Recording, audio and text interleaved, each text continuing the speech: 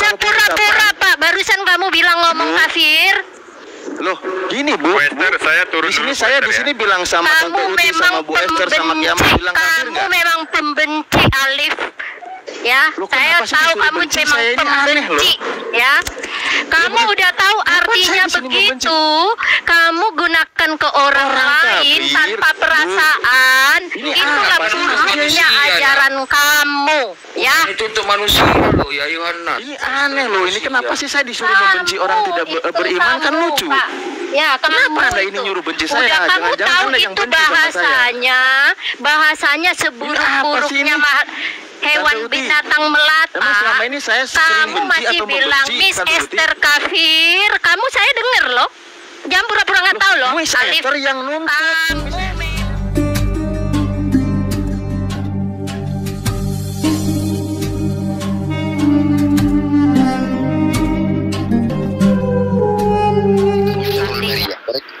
Orang-orang inaladina kafir, orang-orang kafir min min ahli kitab dari kalangan ahli kitab wal musyrikin orang-orang musyrik. Alul kitab siapa Pak? Alul, ki Alul kitab itu siapa Pak? Alul kitab yang turun alladzina atainahumul kitab kama ya'rifuna. Yaitu ahlul kitab eh, yang Siapa Pak? yang mengetahui Nabi Muhammad. Makanya saya mengatakan saya sepakat itu sudah Oke. apa yang mengenal Nabi Muhammad. Islam Islam yang baca Quran gitu. Yang tahu. Muhammad. Yang mengenal Nabi Muhammad ahlul kitab yang mengenal Nabi Muhammad ya. Fi nari jahannam. Siapa?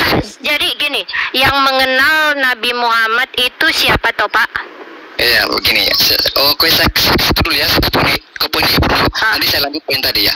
Yang mengenal Nabi Muhammad itu menurut kitab kami dulu ada dari kalangan pendeta ketika Nabi Muhammad datang itu ada yang mengenal Nabi Muhammad ibu ada yang mengenal Ya. Nabi Muhammad jadi Oke. makanya saya makanya saya mengatakan bahwa Bila teman-teman sekarang mau mengkomparasikan histori sejarah dari kalangan Oke. di histori sejarah umat Islam dengan umat Kristen dengan mengutip Al-Quran atau Alkitab udah nggak bisa lagi udah sudah tidak relevan lagi itu Oke. Jadi jangan dipaksa-paksakan akan terjadi kontradiktif nanti akan terjadi bentrok di di apa, ataupun di tengah ataupun ke belakangnya lagi akan terjadi bentrok no, enggak, enggak, enggak, enggak begitu Pak. Pak Pak Ustadz kan Bapak ini kan kata kafir diarahkan kepada siapa?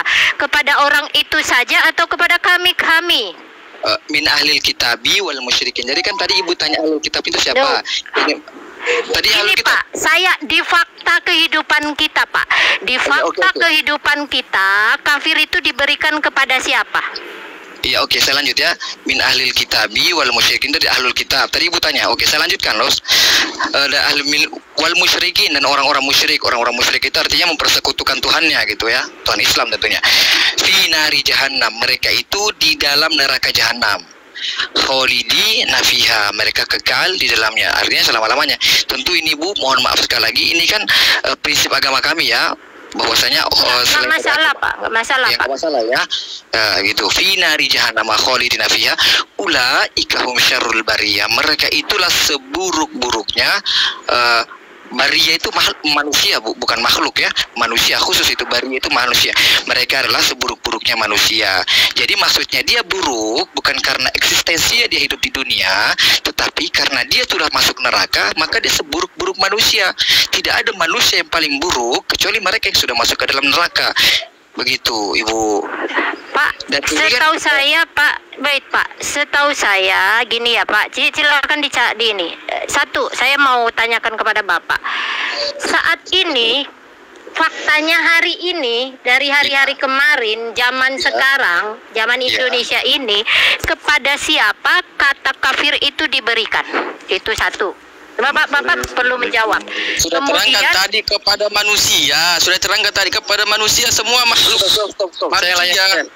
Stop, stop. Sudah terangkan Emang kamu manusia. bukan Rasuli, kamu bukan ma- manusia.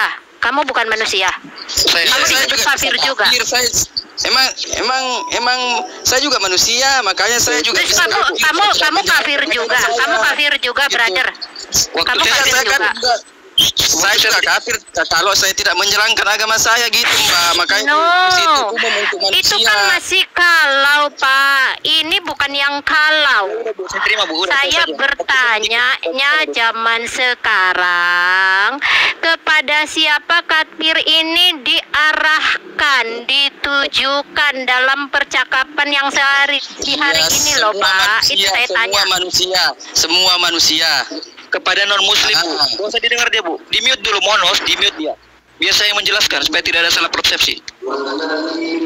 Iya, Kepada- ini ini si Rusli nggak jujur jadinya bercerita. Jadi kita nggak dapat poin.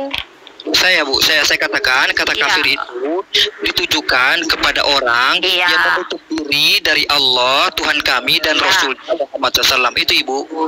Iya, berarti non Muslim kan. Iya. Bapak, Bu. itu 73 17 telah kafirlah orang yang mengatakan Akan bantu menjelaskan Tuhan. Iya. Ya telah kafirlah orang yang mengatakan Tuhan punya anak, bahkan dilaknati Allah lah. Nah, telah kafirlah Isa Isa adalah Tuhan. Jadi yang dimaksud di situ maksudnya semua orang yang mengatakan Isa adalah Tuhan kan adalah kafir, Pak. Kan ada ayatnya yang Iya. mengarah langsung kepada Isa. Yang maksud kalian itu adalah Yesus. Iya, betul, Bu.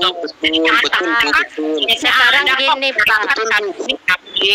Jangan takut-takut, Betul ibu Pak. betul. Sekarang gini. Betul Pak. itu itu betul.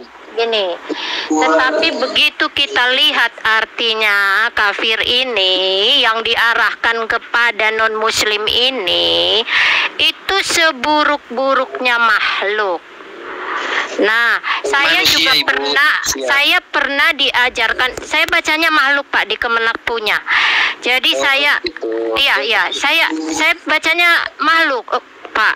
Saya Iya, iya, pernah iya. diberitahu oleh muslim juga ini. Bentar ya. Miss Esther, eh, bisa jadi moderator sekalian nggak? Saya mau pergi, saya mau tinggalin, mau ditutup kan gak enak lagi seru gitu. Saya pergi sebentar, satu jam setengah mau. Bu Uti, Bu Ada Uti yang bisa jadi lanjut nanti nanti aja deh Bu Uti kalau gitu. Nah, nggak enak kalau Bu Uti nggak Miss ada. Oh gitu ya. Kita ambil Iya. persepsi sama-sama nih, ambil persepsi sama-sama. Ya, sebentar lagi saya jalan ya. Ya udah lanjut Ya. dulu deh. Saya kedengaran Ah. nggak sih ini? Halo, tes tes. Kedengaran Ya. Pak. Oke, nggak gini dulu. Kita ambil pandangan sama-sama mengenai orang di luar keyakinannya. Kalau di Islam dikatakan kafir, kalau di Kristen itu dibilangnya apa sebutannya? Orang yang yang orang tidak percaya Pak. Orang Ya, Pak. kafir di situ bukanlah hanya menutup diri kalau saya lihat sih, karena Nggak, dia diazab. Ambil persepsi dulu, ambil persepsi garis besarnya dulu, biar biar kita tidak di, biar Orang ribut. tidak percaya Pak. Orang tidak percaya. percaya ya. Baik orang Kristen, ya orang tidak percaya itu ya di luar iman. Oke, sekarang gini, ketika dikatakan ular beludak itu orang yang tidak percaya Yesus atau gimana? Itu itu Yesus secara secara khusus kepada orang-orang oh, lihat konteksnya Pak. Lihat konteksnya di situ apa? Silakan baca Pak satu perikop. Ular beludak kan?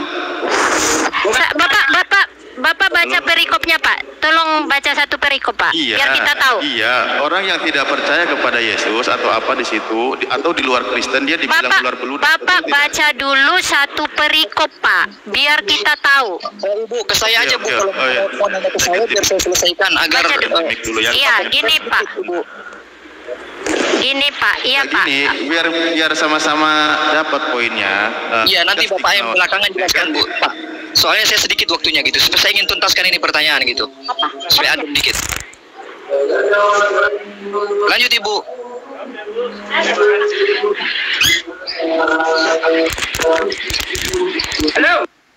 Jadi gini Pak. Oh sorry saya terputus tadi. Jadi gini Pak.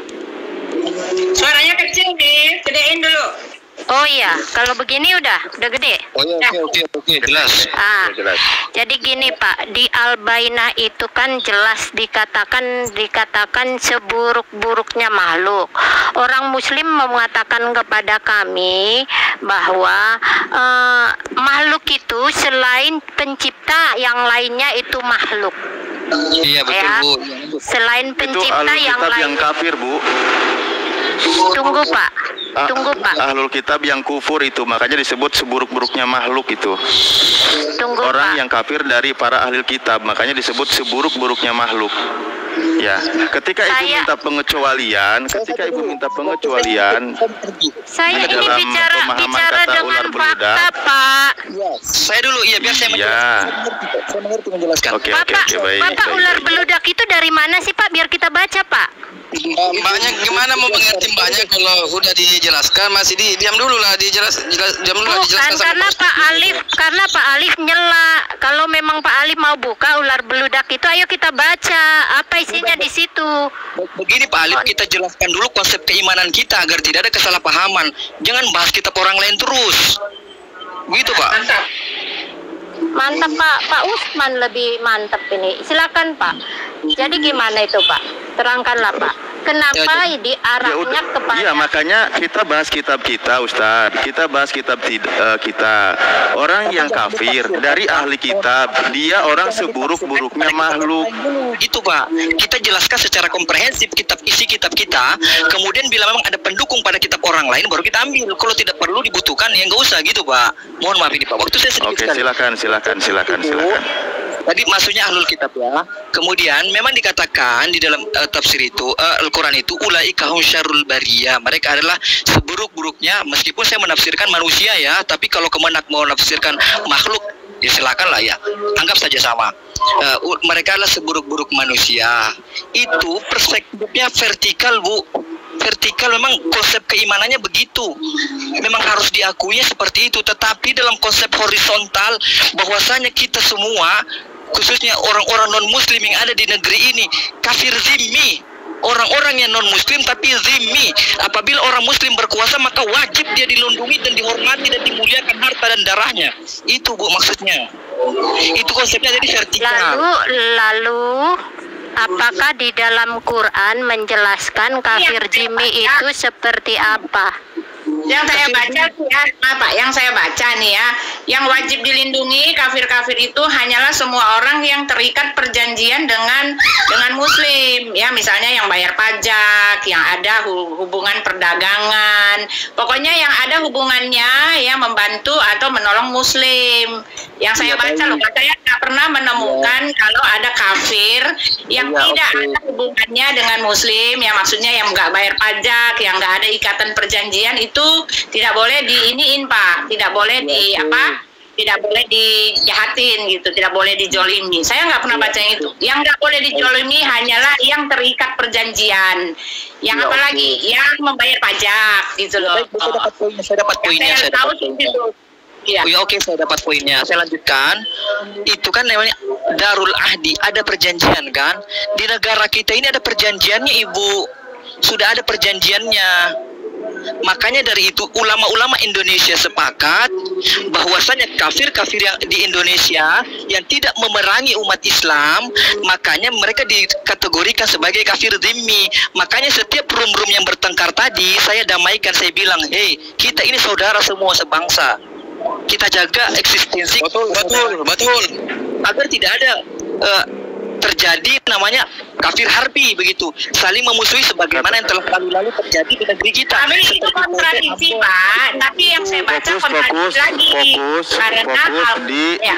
Hum Syarul Bariyah, ahli Ya, kitab yang yang dikatakan seburuk-buruknya makhluk. Fokus, fokus. Tadi saya disuruh Ya. fokus, oke. Sebentar ya, Saya- tapi itu tadi minta komparasi lagi, Pak. pandangan ketika orang di luar keyakinannya disebut apa gitu loh.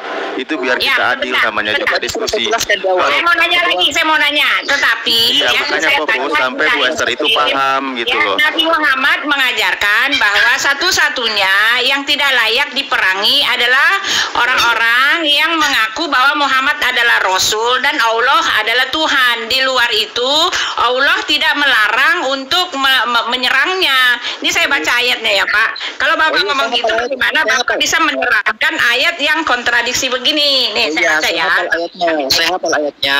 Jadi kan sudah disepakati di awal tadi ketika diskusi damai dengan teman-teman Kristen bahwasanya yang berhak untuk menafsirkan kitab itu orang muslim sendiri. Jadi saya ingin menafsirkan ayat itu bahwasanya itu konteksnya ketika Baro'atu minallahi wa rasuli ketika konteksnya sedang perang. Ketika sedang perang, makanya orang yang tidak eh, beriman itu harus dibunuh. Kenapa dibunuh? Kalau nggak dibunuh dan nyerang kita nanti gimana? Begitu. Bagaimana kalau ibu lagi perang, lagi darurat dirampok nih? Kalau ibu nggak membunuh, ibu yang dibunuh. Ayo, gimana pilihannya? Tapi Begitu, ini Pak. masalahnya tidak berbicara tentang perang Pak. Nih saya bacakan ya bahwa uh, uh, itu ada ini hanyalah orang yang munafik, artinya hanya orang kafir. Tidak dikatakan di situ dalam konteks perang ya. Sebentar saya Iya, baca. baik, Bu. Saya dapat poinnya, saya dapat poinnya. Saya dapat poinnya.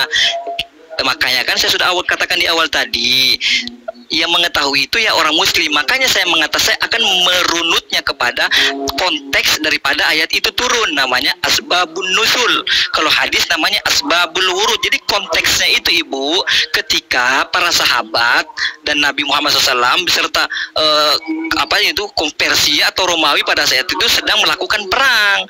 Maka turunlah ayat itu bahwasanya bunuh itu orang-orang yang tidak beriman. Karena kenapa? Dikhawatirkan nanti dia akan nyerang kamu itu ilustrasinya kan saya sudah saya berikan tadi seandainya ibu dirampok mau diperkosa contoh mohon maaf apabila kita tidak tepat makanya ada ada dua pilihan. Anda yang dibunuh atau anda yang membunuh begitu ibu. Konteksnya ada. Iya, nah, tetapi lagi- ya, tetapi masalahnya peristiwa perang itu kan semuanya juga dipicu karena Nabi Muhammad kan mendeklarasikan bahwa dia adalah Rasul dan na- oh, Allah adalah Tuhan. Emangnya peristiwa peperangan itu karenanya apa Pak? Itu kan peristiwa peperangan itu juga kan karena eh, siar agama dari Nabi Muhammad juga Pak.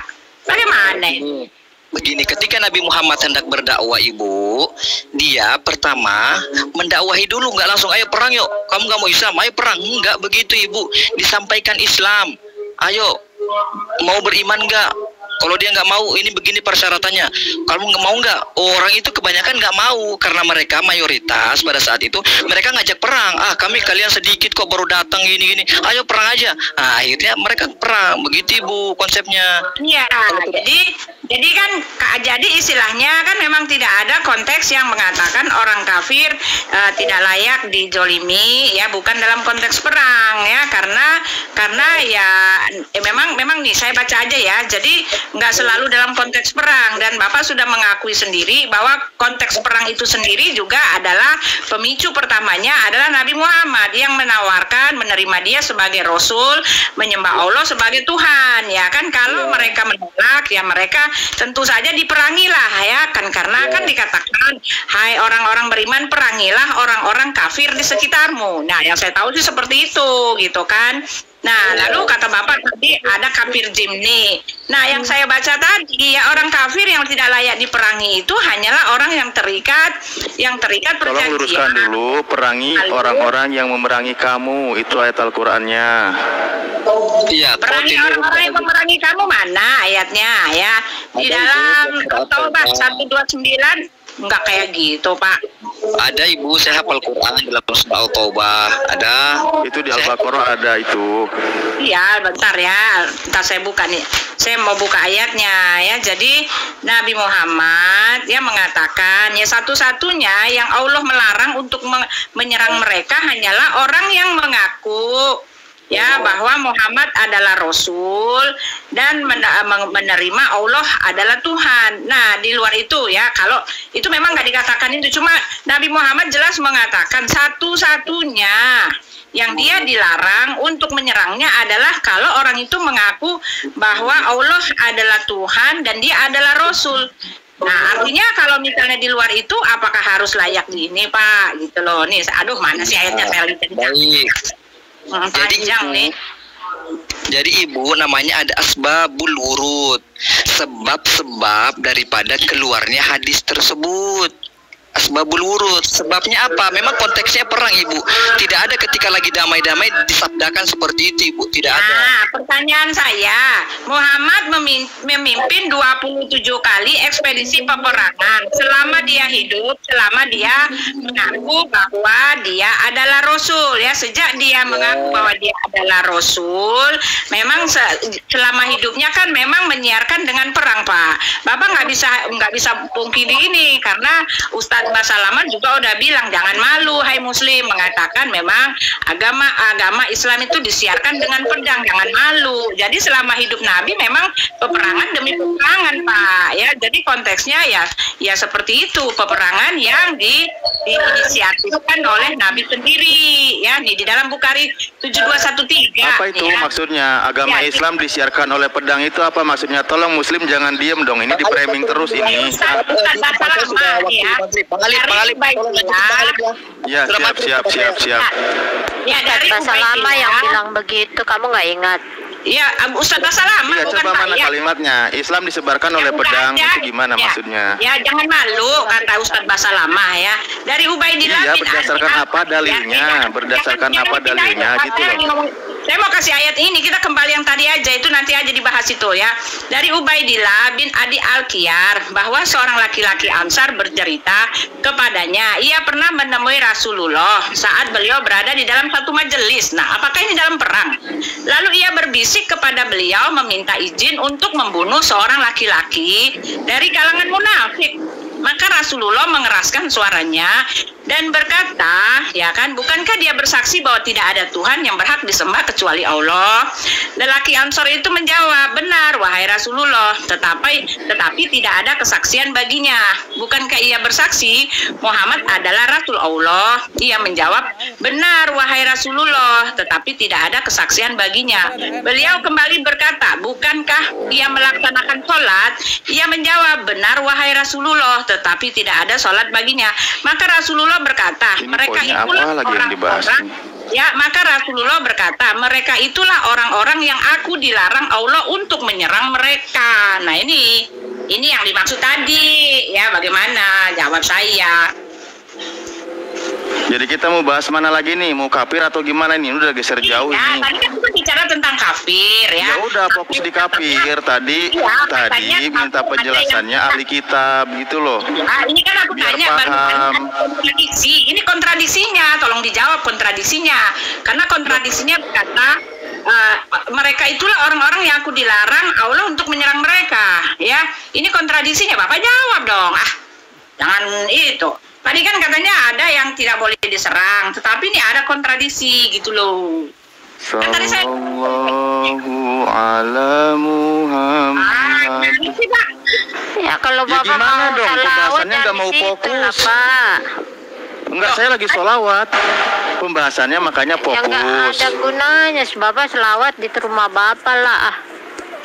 Ya, yang ditanya tanya Bu tadi. Uti apa coba Oke, oke, kita kembali ke kata kafir tadi ya, biar semuanya juga paham, benar tidak? Gimana? Silakan, silakan Ya udah, oke, ya. Kata kafir jelas adalah orang yang di luar Islam, kan gitu ya, jelas. Nah, lalu ada masa di mana juga ada para ahli kitab. Nah, ahli kitab ini tentu dia orang yang memahami kitab-kitab sebelumnya, dia menulis.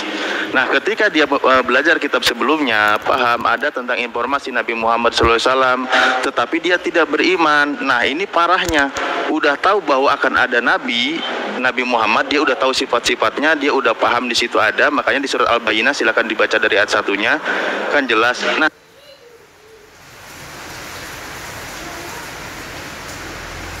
adalah seburuk-buruknya makhluk. Itu untuk ahli kitab, begitu, Bu. Ya, Pak Alif, saya boleh tanya Pak Alif. Ah, Ah, A- ada ada ada ada saya pernah ya lihat di YouTube-nya Zuma ya waktu itu lagi lagi bertengkar dengan Ibu Yuni ya. Bu Yuni ini dikafir-kafirkan oleh Zuma. Bagaimana itu hukumnya Pak Alif? Eh, kita mau nyari contoh orang yang lagi berantem apa gimana? Nanti saya juga carikan juga orang yang lagi berantem. Enggak, maksud saya Bagaimana saling membedakan? apakah Kan boleh repot. apakah apakah boleh Come on lah, kita dalil aja, bahas dalil, bahas dalil. Contoh makanya tadi ketika ya dari kawan Kristen pingin tahu tentang pemahaman kenapa orang kafir, kenapa disebut kafir, kenapa disebut buruknya makhluk gitu kan. Nah itu kami berusaha untuk jelaskan. Nah Iya. itu adalah pertama Gimana poin pertamanya adalah ketika disebut kafir ya itu orang yang menolak menutup diri dari kebenaran.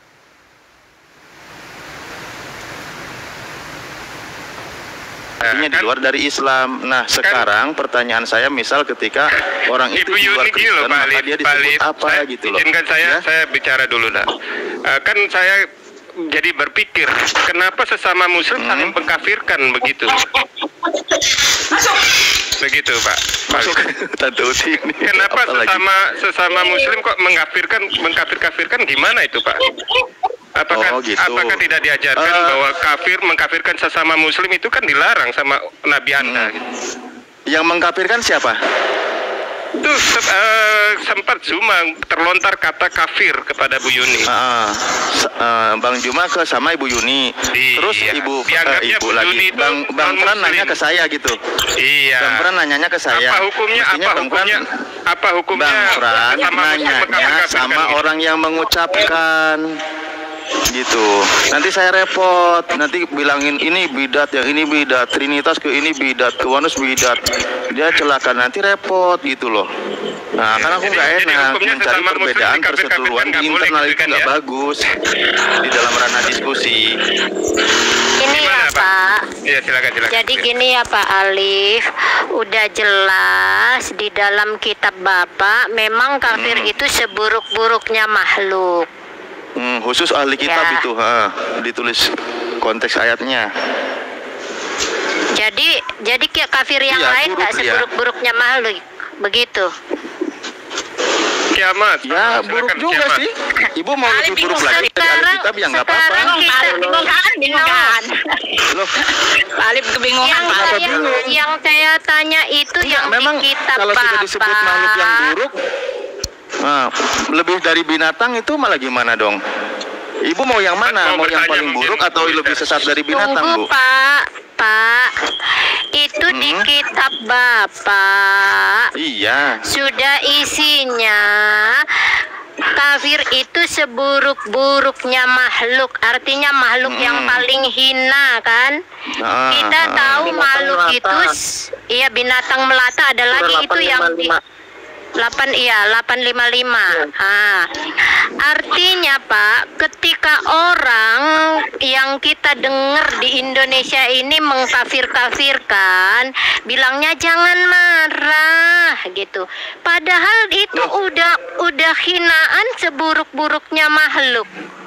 Jangan marah, itu logis apa Emang enggak? emang Bu Bu Esther emang sudah ke neraka sekarang? Itu kan tempat kembalinya Pinari Jahanam di eh, tempat Bapak, kembalinya di neraka Jahanam kamu. itulah seburuk-buruknya makhluk. Kalau Ayat- sekarang disebut kafir aja udah Diem. gitu loh. Diem. Itu kan nanti Ah, ketika dia masuk neraka. Jahanam. Ih, ibu kan bernarasi barusan saya dengerin. Ya sekarang saya jelasin kan dong saya gitu. sekarang gini bapak nggak di kitab bapak kafir Hmm. itu seburuk-buruknya makhluk enggak Oke, ahlul kitab ya kalangan ahli kitab yang menolak mana tadi di ayat 5-nya ya. itu sebentar udah masuk lagi. neraka atau saat Iya. hidup Iya, nih nih ponisnya ya. Oh, Mana lagi iya. tadi sebentar sebentar sebentar sebentar sebentar. Innal ladina kafaru min ahlil kitabi wal musyrikina fi nari jahannam khalidina fiha ulaika hum syarrul bariyah. Ayat 6 surat al Al-Bayyinah ya. Sungguh orang-orang yang kafir dari golongan ahli kitab dan orang-orang musyrik eh, apa namanya akan masuk ke neraka jahanam. Mereka kekal di dalamnya selama-lamanya. Mereka itulah adalah sejarah sejahat-jahatnya makhluk atau seburuk-buruknya makhluk. Begitu, Bu. iya Jadi kalau Ah. kalau jadi Ibu, kafir ya, diberikan kepada orang yang di neraka apa orang yang hidup aduh repot Oh, banget kalau status kekafiran sekarang, Bu. itu dikatakan seburuk-buruknya makhluk. Aduh repot Iya, banget ketika dia aja. masuk ke neraka jahanam, ini udah jelas nah, ayatnya. Nah, Heeh. sekarang Heeh. Ibu mau sekarang Bapak disebut seburuk-buruknya makhluk, Ibu mau sekarang. Ibu mau sekarang disebut makhluk yang buruk. Kan bingung ibunya Males jadinya. ya. Kok maksa banget pengen Bapaknya disebut yang makhluk yang buruk? Bapaknya yang bingung. Kata kafir itu adalah seburuk-buruknya Hmm? makhluk. Betul apa enggak? Ibu baca ayat dan terjemah. Ibu baca deh. Coba di surah Al-Baqarah tadi ayat 6 Ibu bacain deh biar Masa Ibu paham. banyak, ah, bukan cuma Al-Bainah, cari yang lain. Eh, apa 85 ayat 5 ya, Pak ya? Pak Kiamat ya? 8 ayat 55 ya 8 ayat 55 ya Bisa. Oke, sekarang kita ke surah cuma 8 itu, ayat Bang. 55 gitu. ya frame-nya. oh Bu Uti pindahin dong Bu Uti Diskusi itu kan kita niatnya memberi pemahaman dari kesalahpahaman, bukan niatnya Bapak- menyesatkan Bapak orang dari paham yang sesungguhnya. Itu kayak di kematian aja, tapi ini di faktanya di kehidupan, Pak. Aduh. Oke, kalau gitu baik baik. Mau tentang bagaimana manusia statusnya ketika dia hidup ada di surah. Al-Isra Baca itu. Nah, Baca pindah. dulu, Pak. Oke. Oh, coba kiamat bacakan ayat Al-Qur'an kiamat kalau kamu bisa. Tolong bacakan. Kiamat seperti tadi saya yang bacakan. Kalau kamu memang punya dalil di Al-Qur'an. Surah Al-Anfal ayat 55 ya. Mm-mm. Bacakan dulu Arabnya kiamat. Nggak usah baca Arabnya. Waktu itu Ya dia yang punya dalil loh. Ngerti. Alladzina kafaru fahum la yuminuna. Nah tuh. Nah, eh, udah nggak bisa nggak bisa bener nggak bisa salah. Fahum la yuminuna. Nah tuh. Nah, eh, udah nggak bisa nggak bisa bener nggak bisa salah salah salah. Ya salah. kenapa kamu suruh tadi? Udah Ya dia punya terjemahnya biar dalil kita makanya saya ngerti. ingin dengar. Kirain dia punya eh, apa namanya? Sesungguhnya ini seburuk-buruknya ya. Seburuk-buruknya Mm-mm. binatang melata.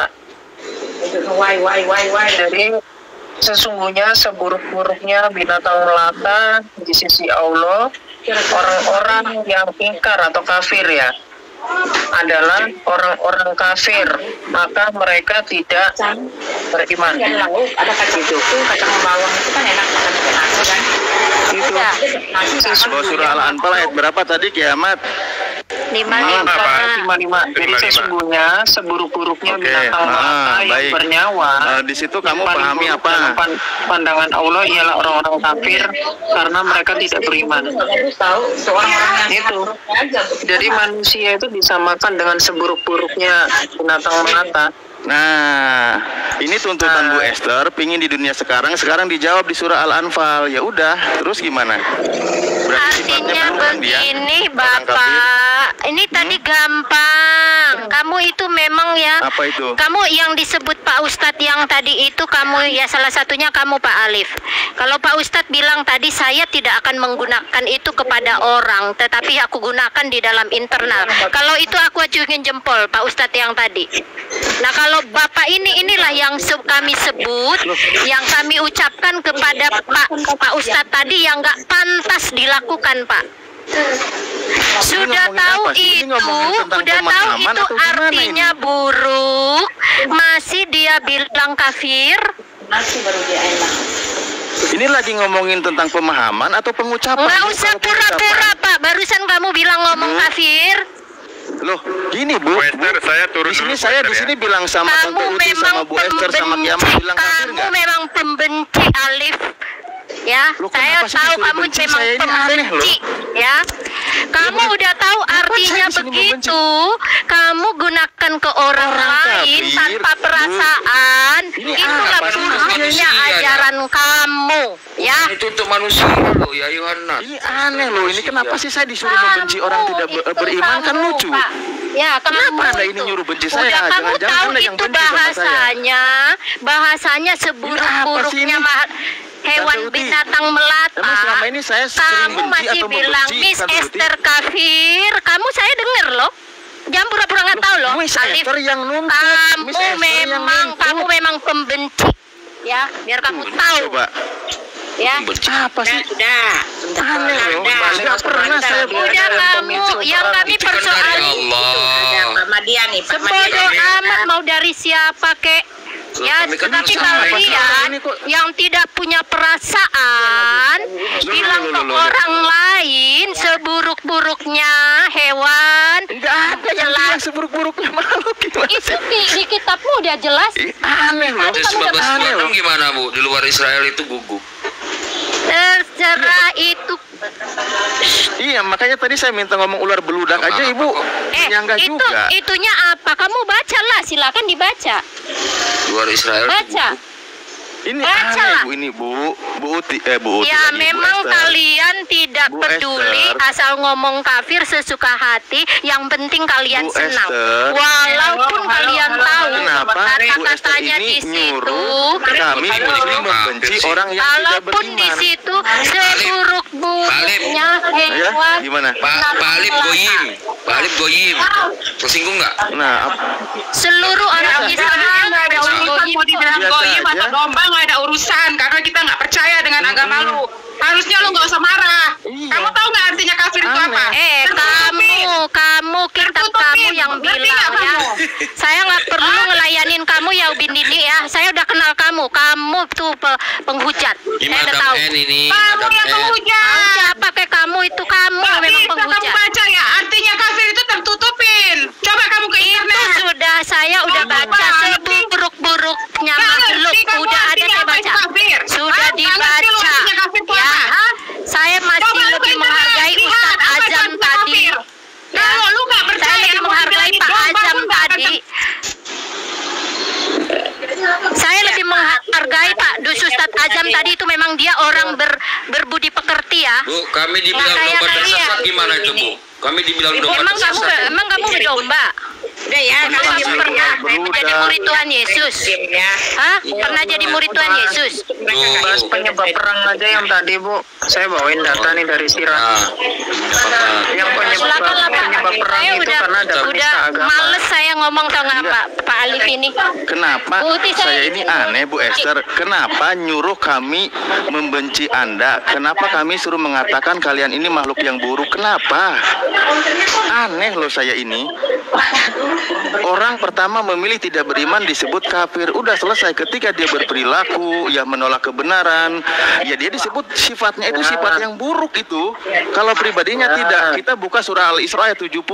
Lakod karomna bani Adam. Allah muliakan seluruh keturunan Adam tidak melihat agama. Ya ya ya. Diberi rezeki, diberi apa semua diberi kelebihan. Bahkan di situ dikatakan sebagai kelebihan dari antara makhluk-makhluk Allah yang lain. Itu udah jelas. Jangan paksakan kami suruh membenci Anda. Ini kesalahan fatal. Ya. Kenapa Anda itu ketika saya tidak membenci Anda malah dikatakan kami salah? Kan lucu. Ya. Ini Maksudnya apa ya, coba? Udah belum? Kiamat mau bawa perangnya. Nah, ya. Ya. Jadi, Kalian jadi punya kan punya hukum perang nggak? Punya hukum perang nggak? Oh enggak, enggak, enggak. Kalau nggak punya hukum jadi perang, tadi kan, kan dibahas. Udah, nggak usah ngerep Bang. Tristan, pokoknya bahasannya harus dua arah temanya biar saling mengedukasi ya. Jadi, Juara ya. gini, Buti kan ada Buti. Ya, harus dong. Nah, ini khawatir udah pada takut kan. Udah mau kayak. Nah, Kamu punya agama kan, bahas Kiamat? Tentang terjadinya suatu perang karena? Alif tadi bilangnya karena diserang, begitu Ya, kan ateis. Muhammad karena diserang. Nah, ini Islam, kebentukan Islam. asal Ah, ini niat terjadinya framing. perang. Males aku kalau niat framing. Bang Tristan Ya, lanjut lah. Loh, tadi bukan framing emang Anda bilangnya kan begitu. Oh, karena Muhammad diserang ini itu. Nah, ini ya. Halaman 195 ini. 195. Apa sih? Nah, ya, kita buka.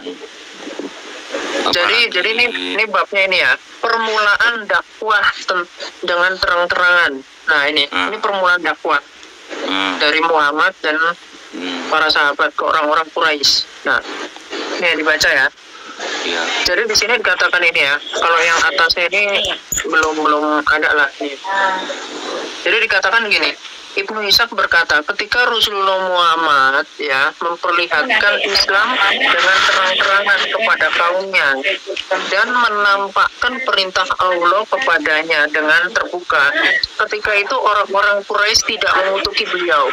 Jadi orang-orang Quraisy ini ketika Muhammad mengatakan atau mensiarkan Islam itu mereka nggak ada yang tersinggung.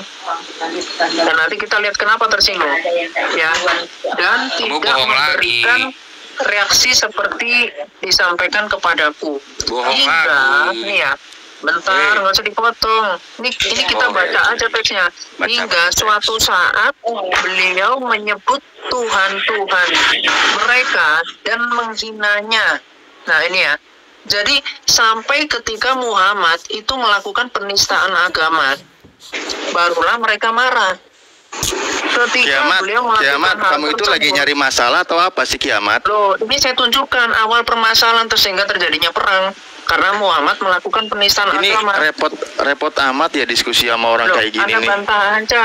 Yesus Kata anda itu melakukan penistaan agama. ketika beliau melakukan Ulangan hal 13 tersebut, Tenang ya, tenang ya Pak Ali. kontak mereka memandang besar permasalahan beliau nah barulah ketika Muhammad menghina agama mereka nanti nanti spesifiknya orang Quraisy akan melaporkan ke paman dari Muhammad Abdul Muthalib menentangnya dan sepakat menentangnya kecuali orang-orang yang dijaga Allah di antara mereka dengan Islam namun mereka tidak Pertanyaan dari Rion ya. benar. Nih, selanjutnya. Jadi orang Ya. uh, utusan Quraisy itu mengecam Abu Muthalib. Abu Muthalib ini Hmm. adalah orang Quraisy juga ya saat itu. Jadi dikatakan ini, Hai Abu Muthalib, sesungguhnya keponakanmu telah menghina Tuhan-Tuhan kita. Mm-mm. Nih, mencaci maki agama kita, membodoh-bodohkan mimpi-mimpi kita, dan menuduh sesat nenek moyang kita. Nah ini, jadi memang Muhammad itu punya sifat yang beringas ya. Ya, dia mencaci maki menista agama. Itulah terjadinya perang. Kemudian, nih Rasulullah terus melanjutkan dakwahnya. Nih ya, beliau Saya mau nanya menampak- ini, diksi hinaannya apa? Allah dan mengajak manusia Diksi hinaannya apa? konflik meledak. Nah ini konflik Diksi penistaannya apa? Orang Quraisy. Orang-orang menjauhkan diri Bang dan Tristan lanjut lain aja ya. Saya mundur aja nggak apa-apa maaf ya. Ini ya, Tante Uti terima kasih. Anjing gitu. silakan. Ada nggak? Ya wis ini aja dulu deh, biar nggak terlalu panjang. Apa yang menistakan? Hah?